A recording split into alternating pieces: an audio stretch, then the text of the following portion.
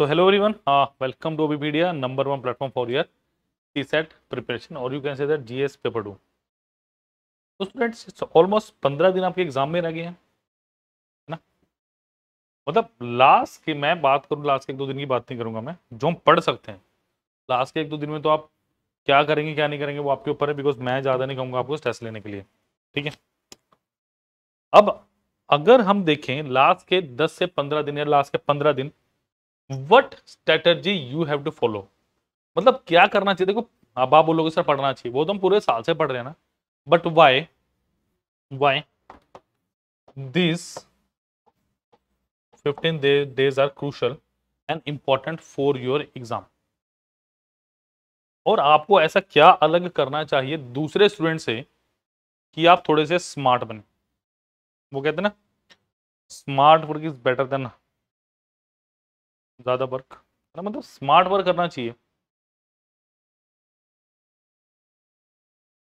ज़्यादा वर्क का मतलब बहुत ज़्यादा पढ़ना, इतना आपका ज़रूरी ना भी हो।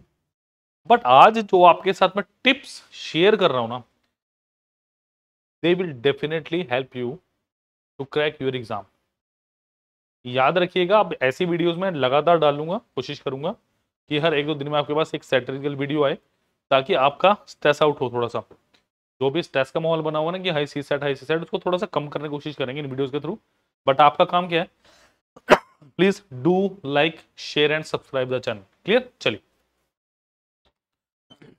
सबसे पहले हमारा टारगेट है यूपीएससी सी सेट 2024 ये हमें पता है। हमें सी सेट क्वालिफाई करना देन हम मेंस की तरफ़ बढ़ेंगे। सबसे पहले आप एग्ज़ाम एनालिसिस की बात करें कि कौन से पोर्शन से 2023 में कितने नंबर ऑफ़ क्वेश्चन आए थे जो अप्रोक्सीमेटली मिले जुले हैं।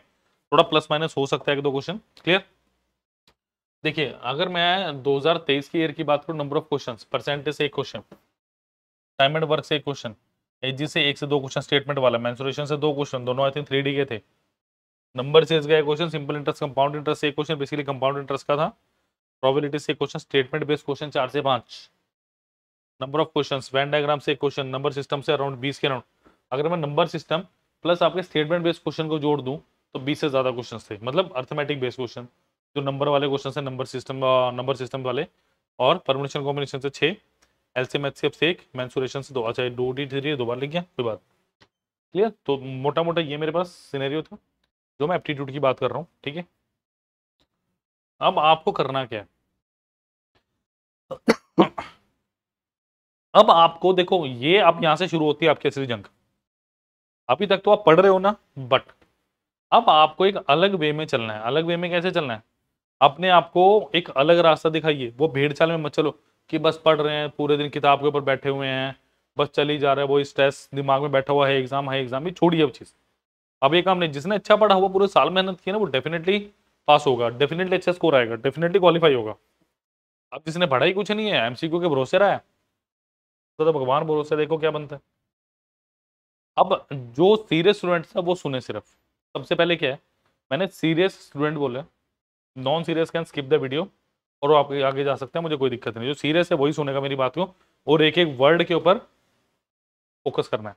क्लियर सबसे पहले क्या बोला जा रहा है? Keep your self motivated all the times मतलब अपने देखो, सबसे अच्छी मोटिवेशन होती है स्टूडेंट सेल्फ मोटिवेशन सबसे अच्छी मोटिवेशन होती सेल्फ मोटिवेशन कि अपने आप को मोटिवेट करो। यस मुझे करना है। मैं कर लूँगा या मैं कर लूँगी। मुझे करना है। मेरा एग्ज़ाम अच्छा होगा। मैंने मेहनत की है पूरे साल। मैंने बहुत सारे चीज़ें पढ़ी हैं। अपने आप से पूछो कौन कौन से चैप्टर्स हैं। अपने आप से पूछो कौन कौन से टॉपिक्स हैं उन चैप्टर्स में। अपने आप से पूछो डिविजिबिलिटी किसकी आप सेल्फ रिविजन करने स्टार्ट करो थोड़ी सी इसके साथ आप सेल्फ रिविजन भी कर सकते हैं। सेल्फ रिविजन का मतलब कि आपने कुछ नहीं करना। बैठे हो आराम से। टीवी देख रहे हो। न्यूज़पेपर पढ़ रहे हो या आराम से जब भी खाली बैठो क्या करना बैठे बैठो, या घर पे चेयर पे बैठो कंफर्टेबल माहौल में। फुल्ली कंफर्टेबल हो गया आराम से राजा जी वाली काम, ठीक है? क्या करना आपने? नंबर सिस्टम चैप्टर के टॉपिक्स रिवाइज करो, जैसे आपने सबसे पहले डिविजिबिलिटी उठाया। तो डिविजिबिलिटी में सबसे पहले क्या है? डिविजिबिलिटी रूल दोहराना शुरू करो। अच्छा ये होता है, ये होता है, ये होता है, ये होता है, ये होता है। फिर ऐसे कर करके देखो कि क्या चीज़ आप मिस कर रहे हो। इससे आपको पता चलेगा कि रिवीजन कितनी और चाहिए आपको, क्योंकि जब तक आपको चैप्टर्स की पूरी तरह से नॉलेज नहीं होगी तो आप नहीं कर पाओगे। रिमाइंडर थोड़ा करेंगे। देखो साइक्लिसिटी साइक्लिसिटी किसके, कितने साइक्लिसिटी है? दो की साइक्लिसिटी क्या, आठ की क्या, चार की क्या, एक की क्या, ऐसे करके रिवीजन सेल्फ रिवीजन भी आप स्टार्ट कर सकते हैं बिना बोले। इसी तरह से रीजनिंग कर सकते हैं। इंग्लिश का तो आपको पता ही कॉम्प्रिहेंशन आपने अच्छे से पढ़ना ही है उसको। ठीक है? Number two is take light and healthy diet सबसे पहली बात आपकी डाइट। सबसे इंपॉर्टेंट रोल प्ले करती है आपकी डाइट इन पंद्रह दिनों में। रीजन क्या है? एनर्जेटिक रहोगे तो दिमाग अच्छा चलेगा। दिमाग को फुल एनर्जी मिलेगी। Avoid junk food avoid oily food healthy food खाइए फ्रूट्स खाइए जूस पीजिए। जंक फ़ूड अवॉइड करो थोड़े टाइम के लिए। ऑयली फ़ूड ठीक है? चलिए। Next is avoid distraction stop using social media और any other destructive media until exam we are not asking to completely avoid social media but only those who distractive अभी आएँगे। मैं मिलेंगे आपको वीडियोस शॉर्ट्स दिखेंगे। मुश्किल आएगा पेपर मैं बता रहा हूँ, ऐसे मतलब डिमोटिवेट करेंगे आपको। तो इन चीज़ों से थोड़ा दूर रहिए। कहने का मतलब क्या है? आपको सिर्फ़ सोशल मीडिया यूज़ कर लो, कोई दिक्कत नहीं है बट उस कंटेंट से दूर रहो जो आपको डिस्ट्रैक्ट कर रहा है।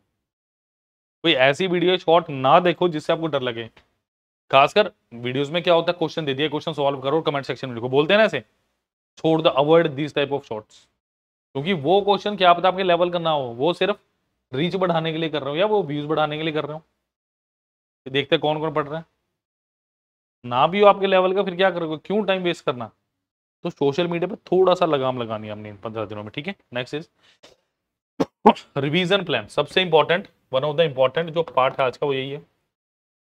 Sit and make a revision plan prioritise priority दीजिए the hand chapters sorry hard chapters and devote maximum time to them that daily targets and complete the portion you have decided allocate your allocate your time to reach subject कहने का मतलब क्या है? ये जो सबसे last line लिखने है मुझे बड़ी पसंद आई। कहने का मतलब क्या है? कि अपना एक प्लान बनाओ। अपना एक रिवीजन प्लान बनाइए कि मुझे ये करना है, मुझे ये करना है, मुझे ये करना है, मुझे ये करना ये करना है। आपने प्रायोरिटी देनी है उन चैप्टर्स को, जैसे नंबर सिस्टम आपको पता आ ही रहे हैं क्वेश्चन मैंने दिखाया अभी बीस के नाउट क्वेश्चन है। तो नंबर सिस्टम तो किसी हालत में नहीं छोड़ना उसके बाद परमुटेशन कॉम्बिनेशन हो गया। खतरनाक क्वेश्चन आ रहे हैं परमुटेशन कॉम्बिनेशन से, खासकर नंबर बेस्ड मैं अगर थोड़ा सा आपको बताऊँ नंबर बेस्ड क्वेश्चन है जो।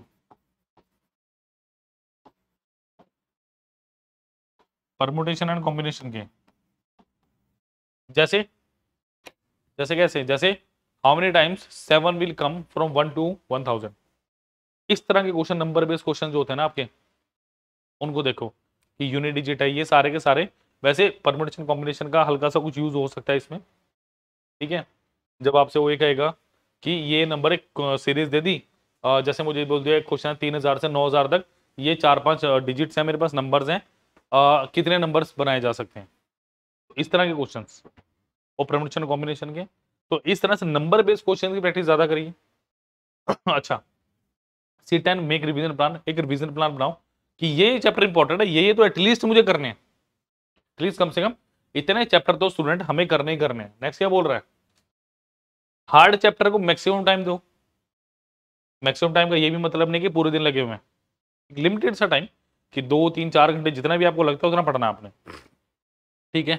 Set daily targets and complete the portion you have decided आपने डेली के टारगेट सेट करने बहुत अच्छी बात लिखी हुई है डेली टारगेट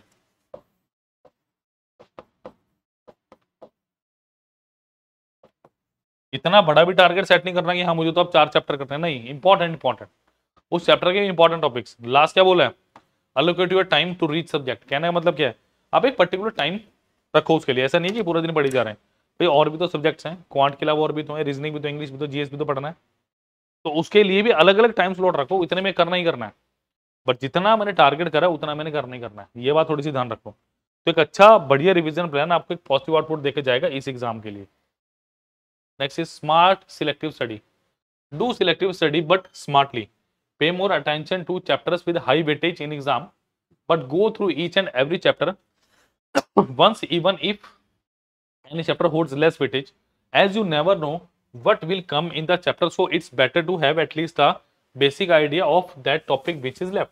अब मैं अगर आपसे देखो बात करूँ सपोज़ करूँ आपके पास क्वांट में या पूरे सी सेट की बात करूँ नंबर सिस्टम एक ऐसा चैप्टर है जिसका सबसे ज़्यादा क्वेश्चन आ रहे हैं आप में से आज मुझे कमेंट सेक्शन में लिख के बता सकता है कि हाँ अगली बार भी इतने क्वेश्चन है क्या हफ़्ते के भी क्वेश्चन है क्या हफ़्ते चार क्वेश्चन है क्या होता परसेंटेज से क्वेश्चन बढ़ते क्या होता रेशियो प्रपोर्शन से बढ़ते कई बच्चे मुझसे पूछ रहे हैं सर प्रोबेबिलिटी है?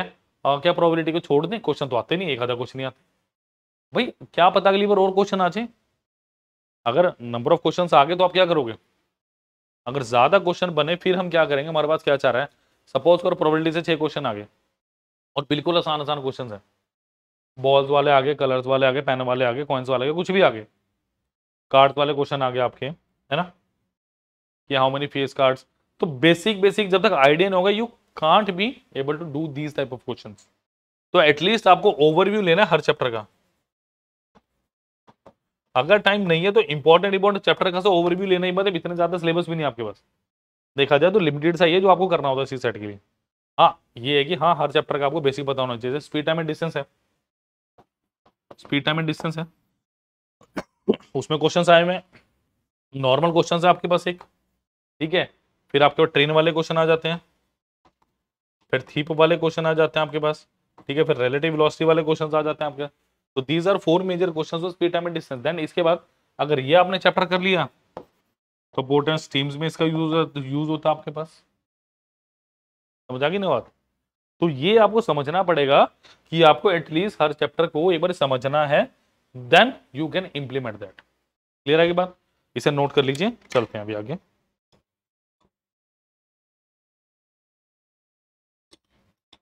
चलिए next is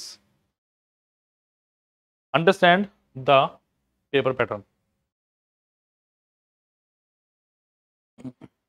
देखो, क्या बोला गया? Understand the pattern of the exam paper and even try to solve them try to solve two papers daily as like you are giving actual exam in the examination hall by doing this you will immediately get to know where you are like ये बहुत अच्छी बात लिखी हुई और ये जिसने implement कर ली ना, उसका बेटा पा रहा है मतलब उसका सी सेट क्लियर है। देखो, उसने क्या किया, सबसे पहले awareness of exam exam awareness जो मैं बात कर रहा हूँ, मैंने तो आपको थोड़ा सा एक झलकी दी ना कि दो हज़ार तेईस का पेपर एप्टीट्यूड की बात करें तो ये आया था। मैंने आपको क्वान्टिटी एप्टीट्यूड का दिखाया। बट यू मस्ट नो कि एक्चुअली में क्या आ रहा है। अगर आपको यही नहीं पता कि कॉम्प्रीहेंशन के 25 से 27 क्वेश्चन हमारे पास हर साल रिपीट रिपीट करा, हो आ रहे हैं रिपीट तो नहीं आ रहे मतलब कहना मतलब 25 से 27 क्वेश्चन आ रहे हैं हमारे पास। अगर आपको यही नहीं पता कि रीजनिंग का जो वेटेज है पंद्रह से मतलब पंद्रह पंद्रह के राउंड है, पंद्रह सोलह, पंद्रह कई बार इससे कम भी आए हैं। और एप्टीट्यूड का आपके पास ज़्यादा हो गया पैंतीस प्लस तो जब आपको यही नहीं पता तो आप कैसे एग्ज़ाम की तैयारी करो? फिर आप एग्ज़ाम की तैयारी कर ही नहीं रहे। फिर आपने सिर्फ़ फॉर्म भरा है, आप उस फॉर्म के, आपने भरा हुआ, आप उस फॉर्म को देने जा रहे हैं दैट्स इट आप एग्ज़ाम देने नहीं जा रहे। आप वो फॉर्म जो आपने भर रखा है, वो फॉर्म आपको लेके जा रहे हैं कि आप फॉर्म भरा, चल एग्ज़ाम जाते हैं। That's it that is the basic structure जो आप फॉलो कर रहे हैं। अगर आपको एग्जामिनेशन का पैटर्न नहीं पता, उसने क्या बोला? जो सी सेट का पेपर है, उस लेवल के एटलीस्ट दो पेपर दीजिए दिन में। दो नहीं दे सकते, एक तो दो। अगर आप दो नहीं दे सकते, आप एक ही भी एग्ज़ाम दे लो। इसे कहते हैं मॉक टेस्ट मॉक टेस्ट दीजिए। नहीं है तो मुझे बताओ nine five one triple seven अगर नहीं आता मॉक टेस्ट का नहीं पता चल रहा कुछ, यहाँ हो मैं बताऊँगा कहाँ से देना। क्लियर है बात? मॉक टेस्ट देने के बाद ही पता चल जाएगा आपको कहाँ कमी आ रही है। कमी को पूरा करो, बात खत्म है। ठीक है? नेक्स्ट क्या है? Don't refer to new material बच्चे ये गलती बहुत करते हैं। अप्रोक्सीमेटली नाइन्टी परसेंट बच्चे गलती करते हैं। वो करते क्या है? वो एक नया मटेरियल उठा लेंगे। मतलब एक उन्होंने सपोज़ करो नंबर सिस्टम पढ़ा हुआ कहीं से, है ना?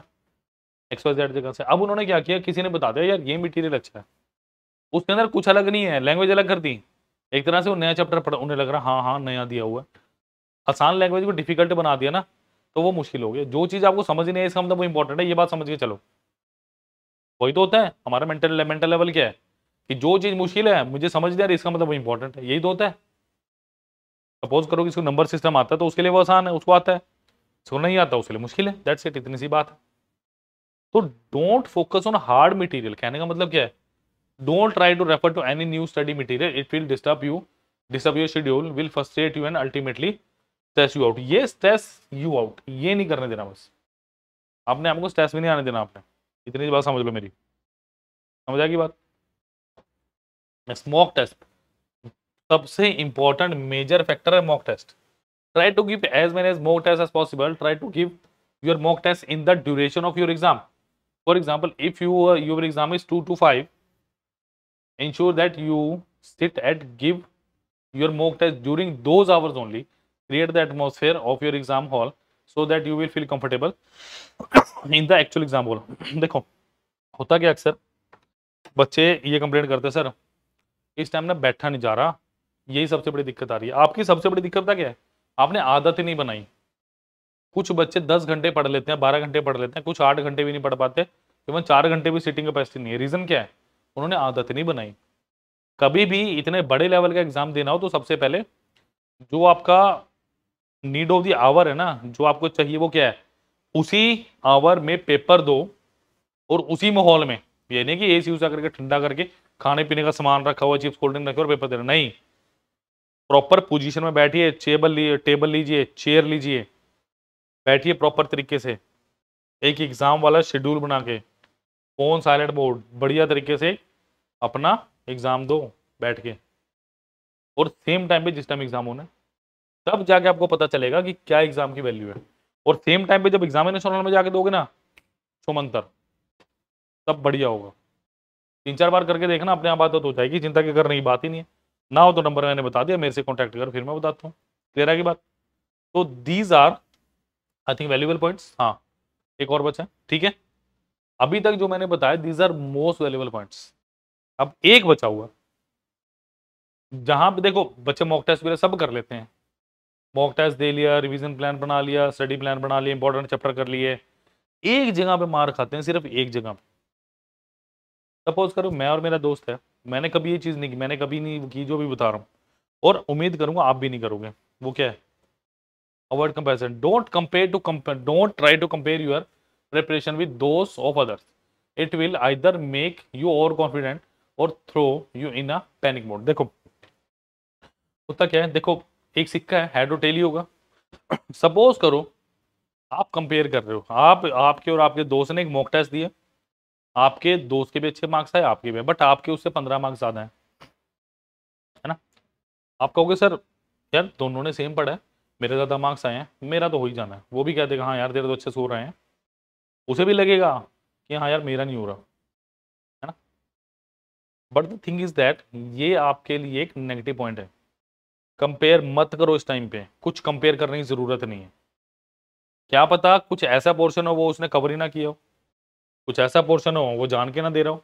उसको पता है कि वो उसकी तैयारी अच्छी है, वो आपको ओवर कॉन्फिडेंट देखना चाह रहा हो। कुछ भी हो सकता है। ये एक्चुअली में उसके उतने आए हो। या पेपर में, वो टॉपिक जो इस पेपर में आए आपके मॉक टेस्ट में, वो ना आए, वो जो उस बच्चे को आता वो आ जाए आपके कमाए उससे ज़्यादा है। आपने कभी कंपेयर नहीं करना।